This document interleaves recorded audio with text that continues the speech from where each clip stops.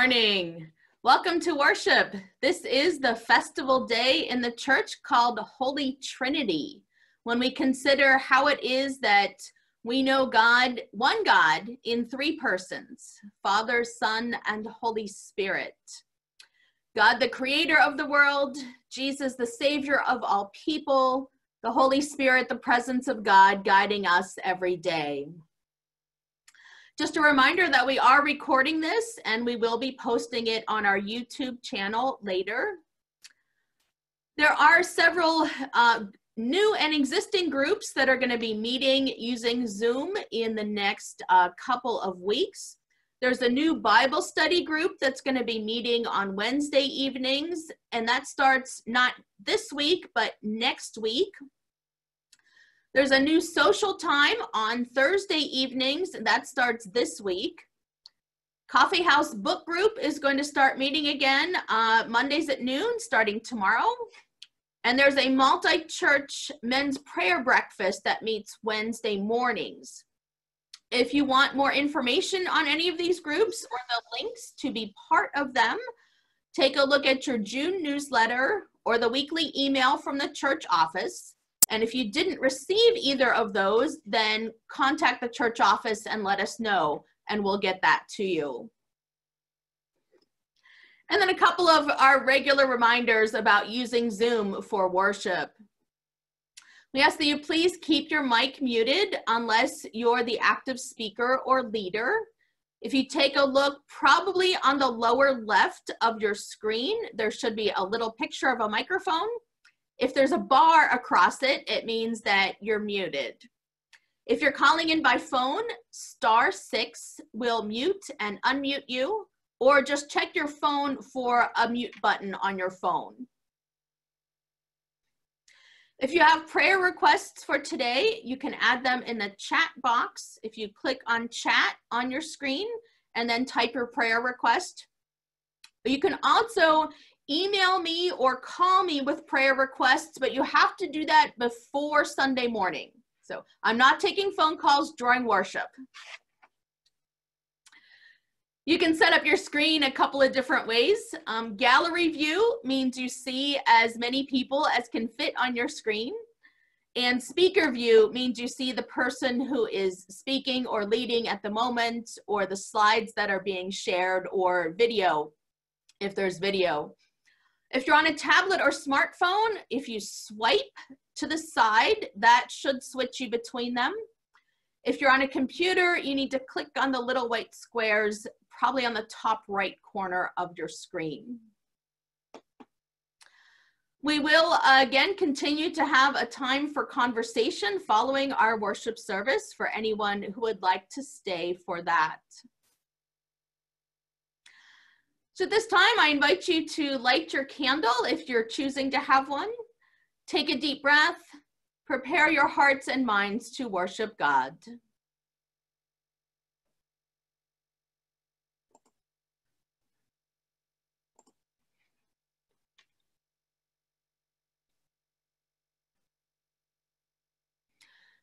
We continue with the call to worship.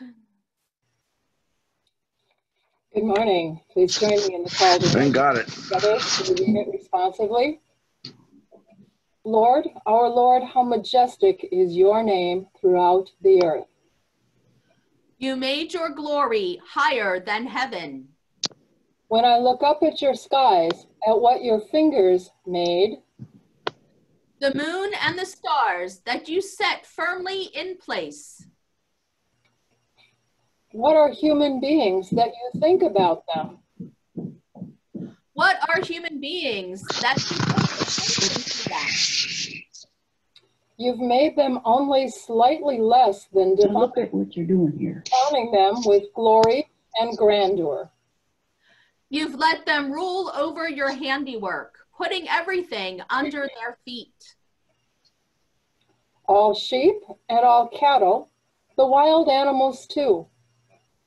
The birds in the sky, the fish of the ocean. Everything that travels the pathways of the sea. Lord, our Lord, how majestic is your name throughout the earth. Okay, we are again uh, using some video from our own band to help lead us in singing. Um, if I do this right, you should also get the lyrics.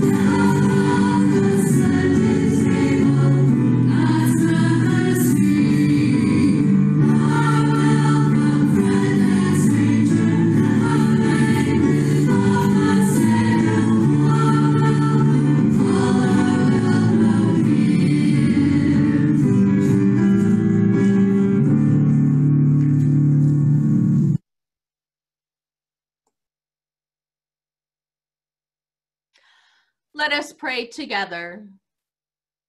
God of heaven and earth, before the foundation of the universe and the beginning of time, you are the triune God, author of creation, eternal word of salvation, life giving spirit of wisdom. Guide us to all truth by your spirit, that we may proclaim all that Christ has revealed and rejoice in the glory he shares with us. Glory and praise to you, Father, Son, and Holy Spirit, now and forever. Amen.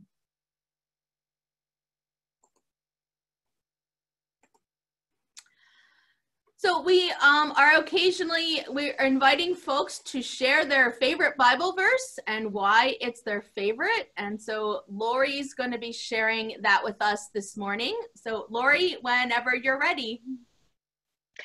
Good morning.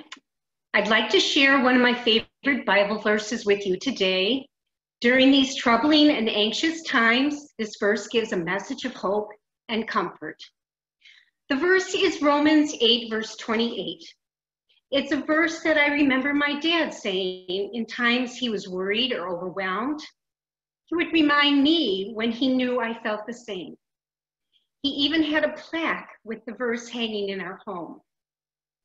Before I read the verse, there are a few verses preceding it that I would like to read, followed with a writing from my daily devotional booklet that it all ties together. So I will start with Romans 8 and verse 14 through 17. And it says, For all who are led by the Spirit of God are children of God.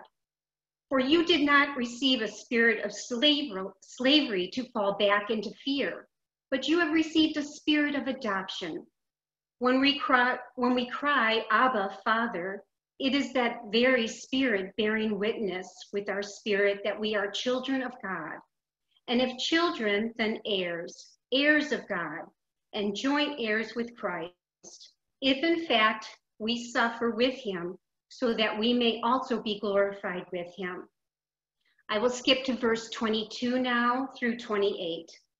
We know that the whole creation has been groaning in labor pains until now and not only the creation, but we ourselves who have the first fruits of the Spirit, grown inwardly while we wait for adoption, the redemption of our bodies.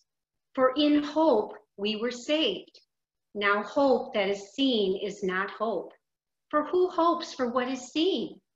But if we hope for what we do not see, we wait for it with patience.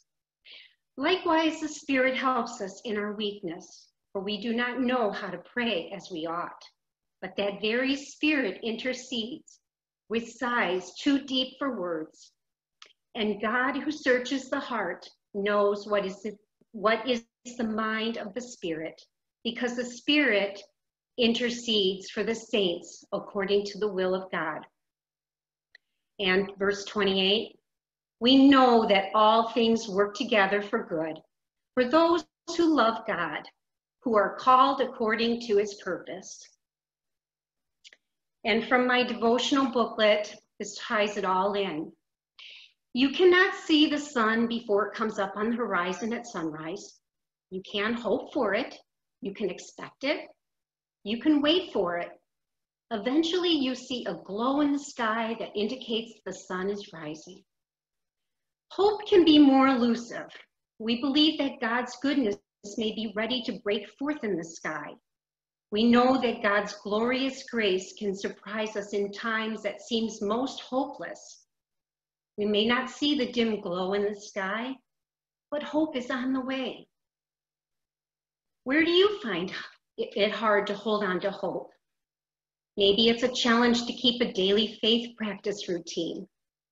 Maybe you are facing a medical diagnosis or your best friend lost a job. Where is hope for you? Paul says we wait for hope with patience. More appropriately, we try to wait for it with patience. We hold on to hope, knowing that God is with us, that God that good things can come even in bad situations. May you be blessed with the peace of God and the hope that comes with it. Amen. Thank you, Lori.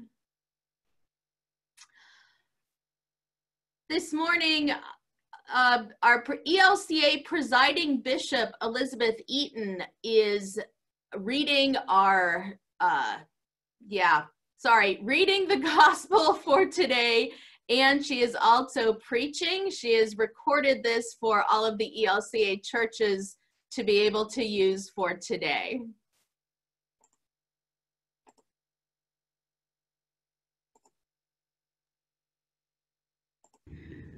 The Holy Gospel according to St. Matthew, the 28th chapter. Now the eleven disciples went to Galilee, to the mountain to which Jesus had directed them. When they saw him, they worshiped him, but some doubted. And Jesus came and said to them, All authority in heaven and on earth has been given to me. Go therefore and make disciples of all nations, baptizing them in the name of the Father and of the Son and of the Holy Spirit, and teaching them to obey everything that I have commanded you. And remember, I am with you always to the end of the age. The Gospel of the Lord. Well, a lot has changed since last Trinity Sunday. Not just the COVID 19 pandemic under which we live, but also the killing of George Floyd, an unarmed, handcuffed black man, by a white police officer in Minneapolis. Just a few weeks ago, we learned, many of us, of the, the shooting of Ahmaud Arbery. But since that time, Breonna Taylor, Dreasjon Sean Reed, Tony McDade have also been killed. And how many others whose names are known only to their families and to God? Today is Trinity Sunday. It's a hard it's a hard holiday for us to wrap our minds around. It's a difficult a difficult concept. But we learn about the Trinity, particularly in today's first lesson from Genesis. In this beautiful song of creation, we hear in the beginning, when God created the heavens and the earth, the earth was a formless void, and darkness covered the face of the deep. and a wind from God swept over the face of the waters. And God said, and creation began. Martin Luther put it this way So also the Christian church agrees that in this description there is indicated the mystery of the Holy Trinity.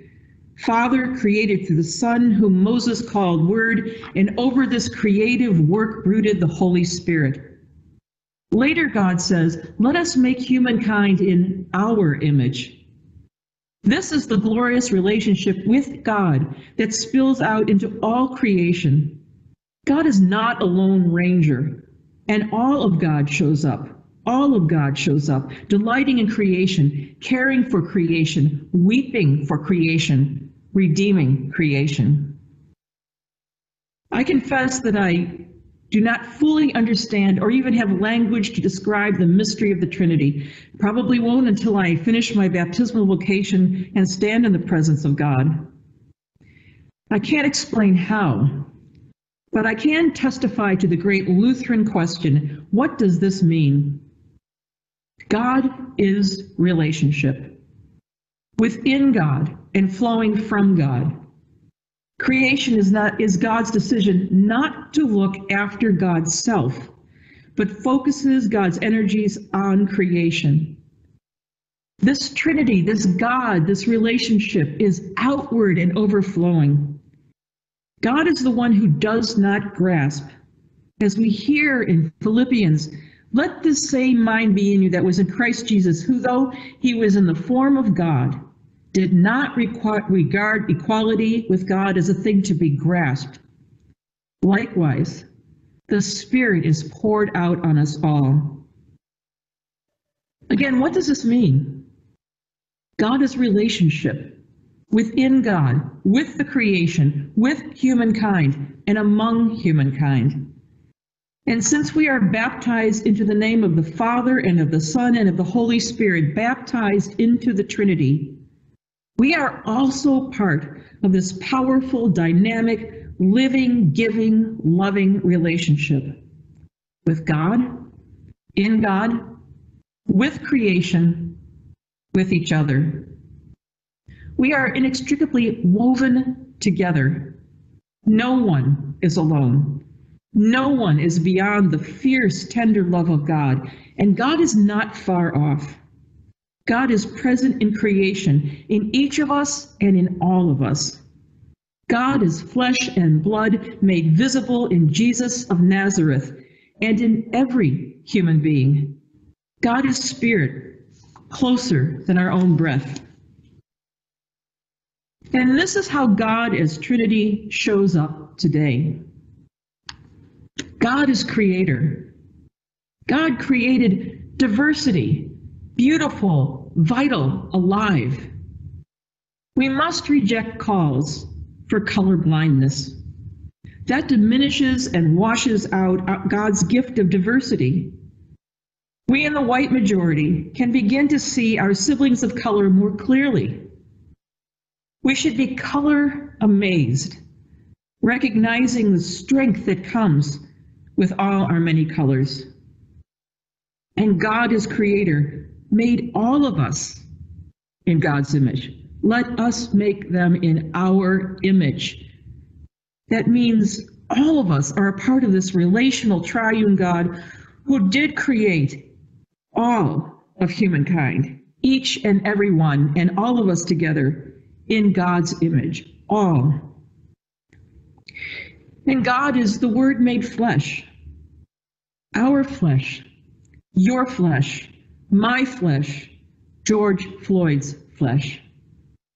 Jesus, in his passion, still suffers with those who suffer. The crucifixion of an unarmed, handcuffed man lying face down on the street is the crucifixion and the passion of our Lord.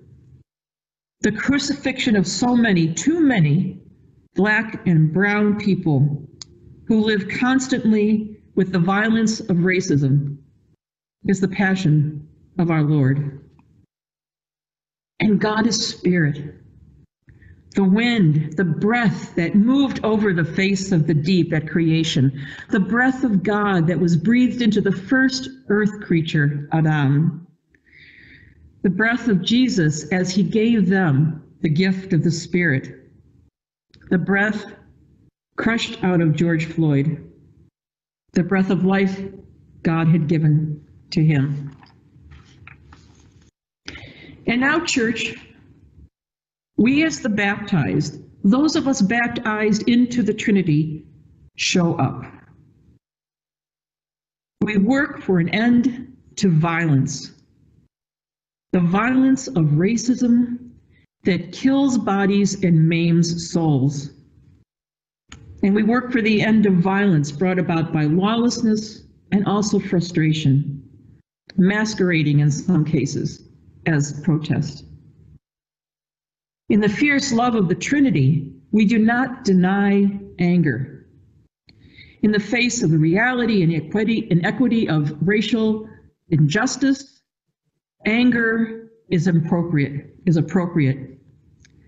But we use our anger to bring about change. We put out fires set to stores, workplaces, churches, and property. But we ask that the, the Spirit kindle in us the fire of justice.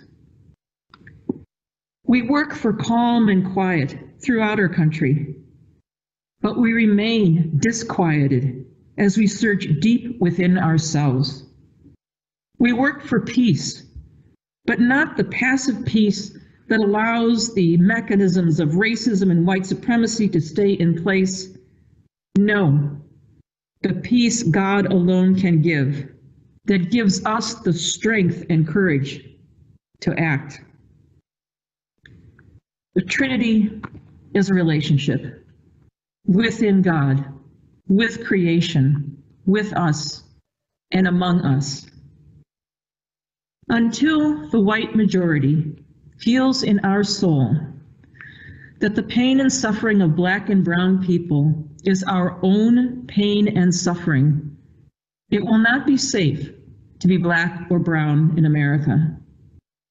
And until we feel in our own soul that this is our pain and our story, we are not open to the relationship that God wants to shower, share, lavish upon us as a relational God, a loving God, as a God of the Trinity, as a God who has brought us into that relationship and commands us to share that relationship and live that relationship with creation and with each other. Paul's second letter to the Corinthians ends The grace of our Lord Jesus Christ, the love of God, and the communion of the Holy Spirit be with you all. It's actually a promise. And I think marching orders for us. The grace of our Lord Jesus Christ is with us. The love of God is with us. The communion of the Holy Spirit is with us. And together, in the communion and community of the Holy Trinity, we can make that a reality. Amen.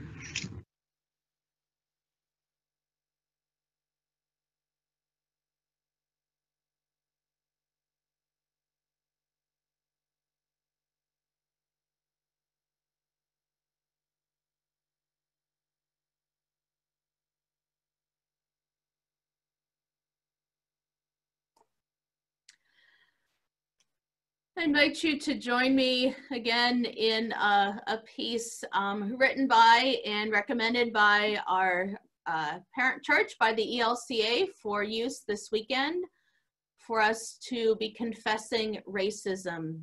It's called A Lament for the Church. If you choose, you may unmute your mic to, um, to uh, participate in this, or you can participate still muted. I invite you to Respond by using the words in the bold print. As church, we confess the sin of racism and condemn racist rhetoric and the ideology of white supremacy. God have mercy. As church, we confess, repent, and repudiate the times when this church has been silent in the face of racial injustice. God have God have mercy. mercy. Racism is deeply ingrained within the ELCA, a predominantly white church. It is deeply embedded within the individual congregations whose members continue to foster stereotypes and support policies that actively hurt people of color. God have mercy. mercy. As church, we declare that the enslavement of Black bodies and the removal of indigenous peoples established racism in the United States, a truth this nation and this church have yet to fully embrace. God, God God have mercy. Rooted in slavery, racism is manifested through the history of Jim Crow policies, racial segregation, the terror of lynching, extrajudicial killings by law enforcement, and the disproportionate incarceration of people of color. God have mercy. God have mercy. Save us, O God, from ourselves, from race, From racism, uh, often cloaked God by have this word, from the manifestations of white White supremacy. hidden in calls, calls for civility, from From microaggressions, veiled veiled arrogance, from apology, they don't don't give way to action, from forgiveness without facing the truth, from from reconciliation. reconciliation without reparation. Confessions are empty promises without meaningful actions. Actions that are grounded in prayer, education, and soul searching repentance. The sin of racism separates us from one another. Though we trust that we are reconciled to God through Christ's death and, and resurrection, we seek such life giving reconciliation with one another. As we repent, let us not turn back to ideologies that promote white supremacy. We trust that God can make all things new. Grateful for the long arc that bends toward justice, we pray. Grant us wisdom.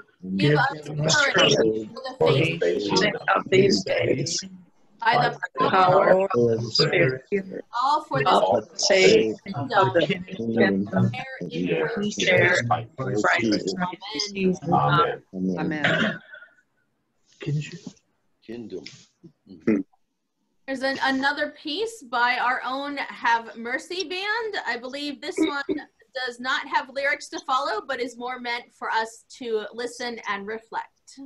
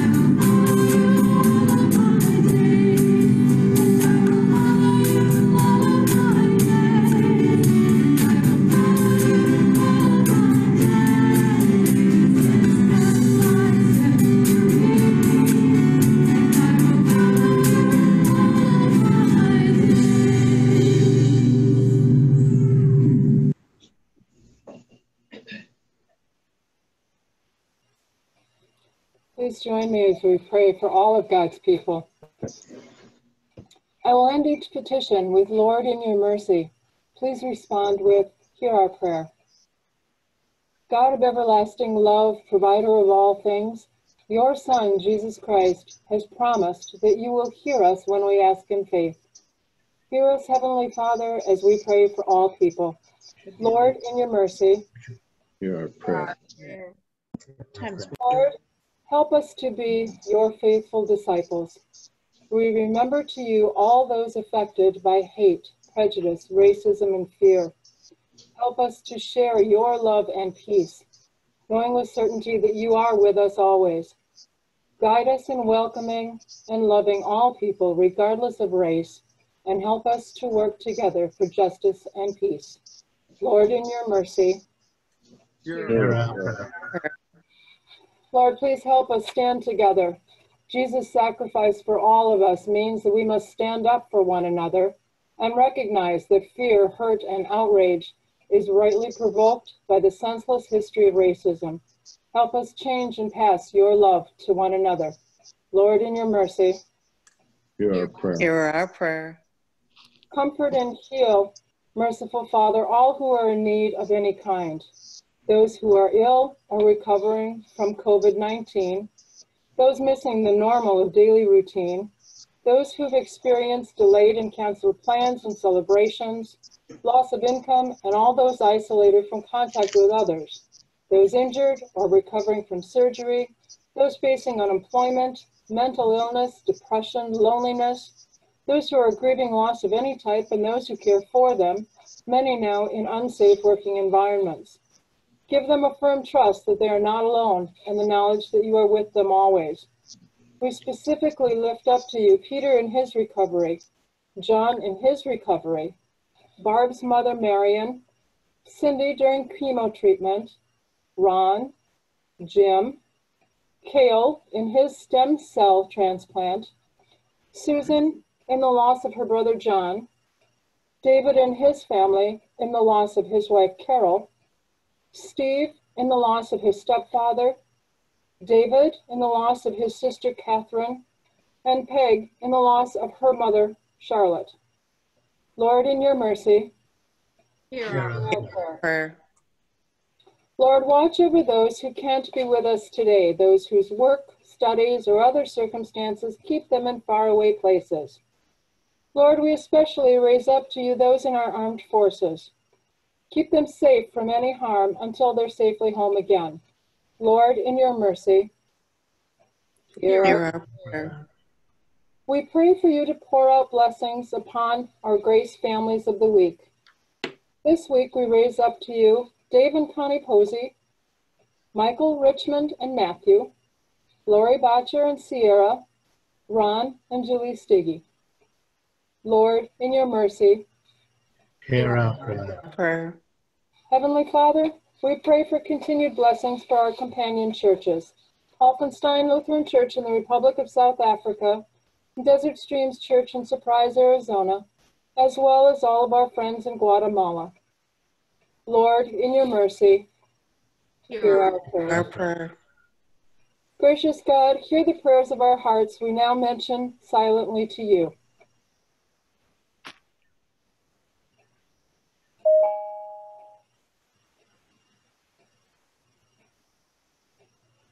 Lord, in your mercy, Hear our hear our Hear our prayer.